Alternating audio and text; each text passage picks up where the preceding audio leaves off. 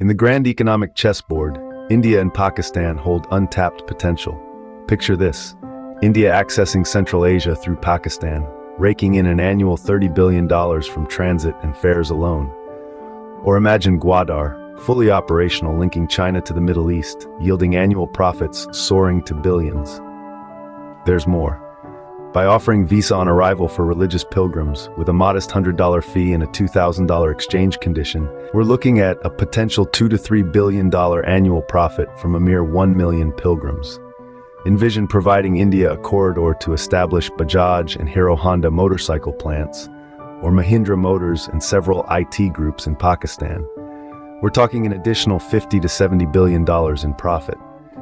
Through trading with India for vegetables, rice, and other food needs, we save foreign exchange while exporting cement, salt, and surgical instruments. The key to unlock this potential? Putting aside the Nuri Nath. The possibilities are immense. This, friends, is the power of cooperation and shared prosperity.